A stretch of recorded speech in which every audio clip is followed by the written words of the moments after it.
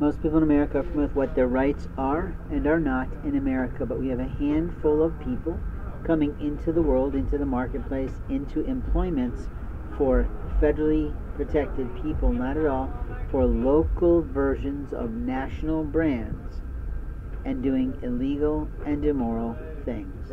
How do we stop them? How do we make them understand where their rights begin and end? And how do we keep them out of our privacy issues, out of our public face, out of our intellectual property, and out of our copywritten word? How do we do this today? Life in America is not the same as it was six months ago, and openly what you did last year doesn't mean you'll be able to succeed this year.